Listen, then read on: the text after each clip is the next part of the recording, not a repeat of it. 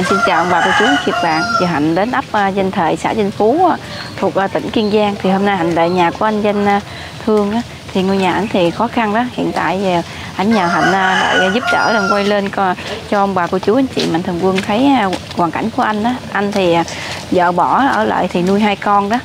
Đây là ngôi nhà của anh nè. Hạnh mời ông bà cô chú chị các bạn xem ngôi nhà của anh. Ngôi nhà đá gió lại nghe hay không hả thế Đi mất mưa từ nhà qua đây nên cái nón ướt nhẹp hết trơn Hạnh sẽ gửi ở đây. Ướt quai hết rồi thì Hạnh đi thì có phần quà của gia đình anh Hiếu Tuấn ở Canada thì à, gửi cho gia đình của anh một phần quà và Hạnh mời bà cô chú các bạn à, cùng vào trong cùng Hạnh nha. Đâu. Mình Trời mưa quá luôn rồi. Không gài mưa cả 10 ngày coi Ngày nào cũng mưa hết trơn xịn hết trơn Rồi em chào anh. Rồi ơi Trơn quá không dám. Rồi hôm nay em lại thăm gia đình anh. Trước tiên là có phần quà của gia đình anh Hiếu Tuấn ở Canada ha. Dạ. Gửi cho anh là 10 kg gạo với nhu yếu phẩm nè. Dạ. Đường, nước mắm, nước tương, dầu ăn rồi muối á cho anh ha. Dạ vậy xem lại Cảm ơn à, anh Hiếu Tuấn trước đi. Dạ. Dạ con chào cô. Anh à, anh Phương hả? Anh Thương Năm nay nhiêu tuổi hả? dạ, năm nay thì à, 32 tuổi 22 tuổi hả? Dạ. Ồ còn trẻ quá luôn mà Cô là sao? thì sinh 1991 Gì nữa hả? Cô cô là sao với à, với anh? là mẹ Mẹ hả? Ừ. Là bà nội của hai bé Bà Cô tên gì cô? bên một ý nó xuống Cô tên gì? cường thì thượng Thị Cượng ha Năm nay cô nhiêu tuổi rồi? Chắc sáu Sáu. mấy rồi hả? sao tám rồi Ồ, gần 70 rồi mà nhìn cô còn trẻ nha. Gia đình của anh thì à, được ba thành viên ha. Đây cái ngôi nhà trước tiên thì Hạnh thấy nó lũng hết trơn rồi. Dạ. còn chỗ nó Đây thì- Ngập hết rồi. Cái đây nè. Vậy mà hai bé sống đây tội nghiệp quá luôn. Ngôi nhà này người mang khoảng 3 mét cái gì hả? Không tới. được 5 mét ba mét 5 mét đấy Dài thì được 5 mét ha. Em hỏi anh à, một chút ha, đời tư của anh ha, khơi lại cái nỗi buồn của anh. Thì nguyên nhân sao mà giờ anh đi à, bỏ mình đó với hai bé đó. Thì anh kể cho ông bà cô chú anh chị à, biết hiểu rõ về gia cảnh của mình á. Chưa nói mà xúc động rồi. dạ tại em đi làm đó thì ở nhà thì nó cứ đi này đi nọ cũng hoài à rồi tới đi làm đó thì tới thất nghiệp một hai ba ngày rồi kiếm cớ thì đặng đi Vì nó ha cũng đi thường xuyên hoài ha. Dạ. Rồi bắt đầu à, không biết cách nào có tới à, bữa đó thất nghiệp hai ba ngày. Rồi Đó là là- bỏ đi luôn. dạ Là nói à, không nói sao có nguyên nhân gì không hay là đi tự đi thôi. dạ không không có nguyên nhân gì đó tự đi luôn Rồi anh Rồi- có kêu ở lại không? kêu ở lại rồi bên gia đình người ta người ta nói thôi đi qua bển chị đâu đi qua bển mày chết đó Ý là qua đây sống với anh nghèo khổ quá ha. Ờ, sợ chết sợ làm khổ con ta người ta không cho qua đâu qua bên đây Là bên kia bắt lại luôn. dạ bắt lại luôn Rồi họ tự đi về có về thăm con không? dạ không Vì là họ bỏ luôn ha. bỏ luôn Rồi cắt đứt luôn. Hàng chi bé này không biết mẹ luôn, chắc bé nhỏ quá ha. mấy con nhỏ Rồi giờ là không biết mẹ là không nhớ mẹ là mặt mẹ luôn. Thấy tội nghiệp ảnh luôn. Thì ảnh bây giờ gà trống nuôi hai con đó. Bây giờ bé này vô học rồi nè, phải à, bưng chải lo cho hai bé. dạ tự nếu mà ai muốn gì thì làm mấy để nuôi con đi học Dạ, mình là hàng ngày thì đi bằng mướn là nuôi hai bé đi học ha. dạ Chứ không có làm gì thêm ha. dạ dạ, ta thấy hoàn cảnh. thì nghèo khổ thì vợ bỏ thấy cũng tội nghiệp mà vợ thì bán lý ra phụ nữ thì phải gồng gánh với chồng ha rồi nuôi con mà sao nghèo cái bỏ chồng thấy tội nghiệp hai bé bơi dơ giờ không có mẹ rồi con nhớ mẹ không? Con tên gì? Con nói cô nghe coi. Dạ. Con học Yến hồi ốm nhôm mà hôm nay con nhiêu tuổi rồi? Nhiêu tuổi anh? Sao? 6 tuổi. Sáu tuổi mà bé quá ha. Không có mẹ săn sóc á ở với cha thì cha đi làm á. Ở đi nhà ai coi bà nội hả? Bên nội coi.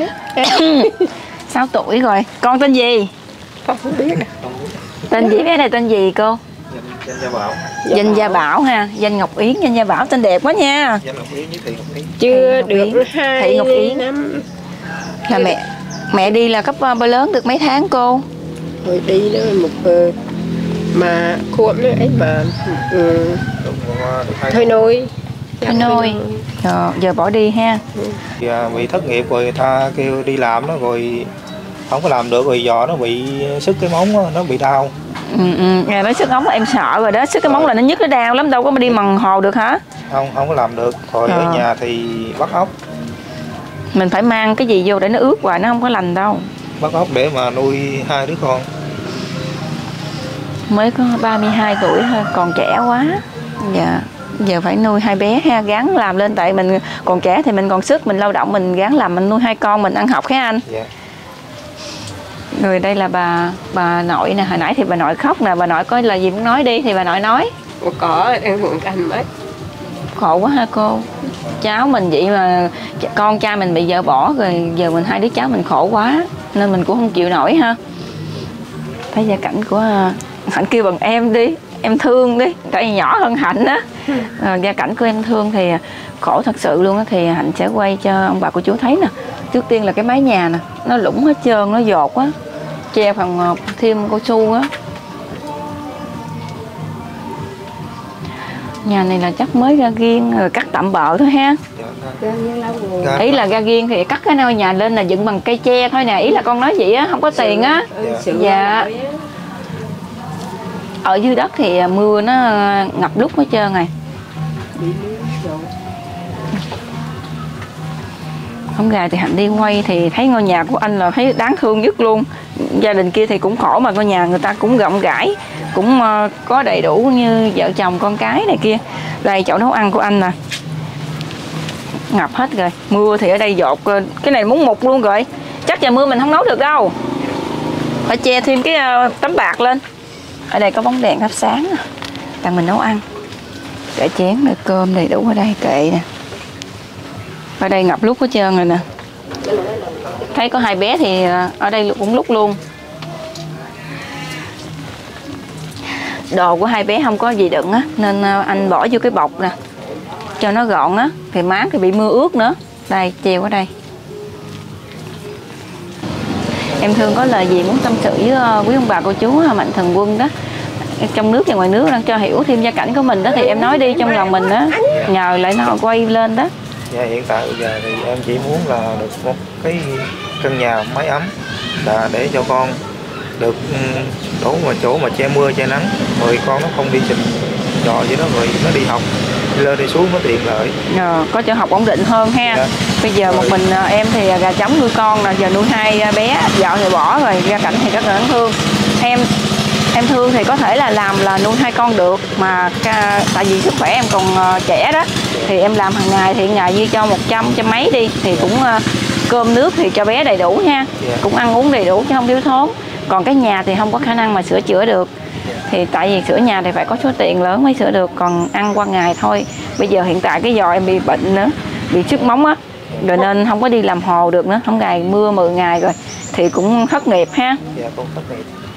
Bé này ở đây ít người hay gì thấy nhát ha. Con có lời gì muốn nói không. Con nói đi con nói thử ai trong bà cô chú coi có giúp được con không? Bé yến nói đi. Dạ. Sợ quá thấy vậy nè. Nhà của em thương thì trước tiên là thạnh thấy khó khăn thật sự nè. Mưa thì sình lầy hết trơn nước sắp ngập dâng lên rồi. Mà ở trên thì dột ở dưới thì ngập á. Gia cảnh thì rất là khó khăn luôn ngôi nhà thì chỉ có trọn vẹn ờ, hơn 10 mét vuông thôi ha. Của ba cha con nè thì vợ thì bỏ rồi. Ở nhà thì nuôi hai bé thì hoàn cảnh thì không có khả năng mà sửa lại căn nhà. Hạnh quay clip lên thì rất mong là quý ông bà, cô chú, anh chị, mạnh thường quân trong nước và ngoài nước có xem clip của hạnh đăng lên giúp được à, gia đình của em thương á. Hạnh xin cảm ơn rất nhiều. Hạnh xin chúc tất cả cô chú, anh chị à, luôn luôn được dài sức khỏe, gia đình thì lúc nào cũng à, bình an. Mong cô chú, anh chị với ông bà đó thì giúp cho tôi được một căn nhà để mà lo cho con tôi đi học. Ăn che mưa che nắng rồi sao nữa? Hết nói được rồi hả? Dạ. che nắng rồi sao? Mình cảm ơn vậy không? Dạ anh cũng xin cảm ơn ờ, nếu mà ờ, ờ, ảnh là người dân tộc á thì nói chuyện tiếng việt cũng không có gành bằng ha. Dạ. Dạ. Thì ảnh xin cảm ơn rất nhiều. Xin chúc nha, cô chú thật nhiều sức khỏe vậy phải không? Dạ. Giờ không cũng mấy quá trời cũng xúc động quá nên nói cũng không được đăng cái clip ให้ em lên ha. Dạ. thì nếu mà có duyên với cô chú mạnh thường quân á thì hỗ trợ cho ba cha con mình được căn nhà lành lặn che nắng che mưa thì hạnh à, sẽ lại làm sớm cho ba cha con. Dạ. thì thấy hoàn cảnh rất là đáng thương luôn. Thì hôm nay thì hạnh lợi chỉ có phần quà của gia đình anh Hiếu Tuấn ở Canada gửi cho mình một phần quà là gạo với nhu yếu phẩm. Dạ. còn phần quà thứ hai là của anh ở nước ngoài giấu tên gửi cho mình 500 ngàn ha. Dạ, trong lúc mình à, thất nghiệp với giò cái chân bị à, đau Dạ. đó không làm được á đặng mình à, mua đồ ăn cho mấy bé nè. Tại vì bé này ốm quá rồi nè. Dạ. mua sữa đâu cho bé uống vô thêm ha. Dạ em cũng xin cảm ơn. Cảm ơn hai mạnh thường quân. Dạ. không nói được luôn rồi giờ, giờ xúc động quá không nói được. Thì hạnh cũng thay mặt cho em thương nè. Cảm ơn anh giấu tên ở Anh- anh nước ngoài cùng với anh ở Canada anh Hiếu Tuấn ở Canada thì xin chúc ờ, gia đình của hai anh thật nhiều sức khỏe. Rồi cũng chúc em nhiều sức khỏe ha cố gắng lên ha. Hoàn cảnh của mình vợ bỏ thì mình nuôi con. Tuy là đàn ông mà nuôi con thì vất vả lắm thì phải gắng lên chứ sao. Rồi con gắng ờ, học giỏi nha. Rồi chúc hai con nhiều sức khỏe luôn. Đâu con nói chuyện ơi chào cô coi. Chào cô. Chào cô. Chào cô không có mẹ không có mẹ dạy. Thường thường có bé có mẹ thì ở nhà thì dạy dỗ á. Dạ. thì nói chuyện nhiều còn giờ đâu có ai dạy đâu. Dạ. cha thì đi làm nè rồi đó ngày ở nhà với bà. Ở nhà với bà nội à, căn nhà của em thương á trọn vẹn à, coi chỉ có à, khoảng 10 mét vuông thôi. Nhà thì hạnh đứng ngoài đây là cũng muốn tới nóc rồi nó thấp trụi đó dột hết trơn rồi dưới đất thì bị nước ngập á sình lầy á.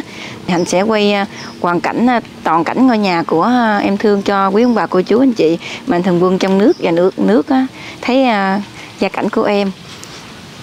Hạnh rất là mong sự giúp đỡ của quý ông bà cô chú anh chị mạnh thường quân rất nhiều đây là bé này hiện tại giờ 6 tuổi mà hạnh ẩm nó nhà hiệu như hưu à. Chắc khoảng hơn 10 kg mười mấy trở lại thôi. Ốm quá.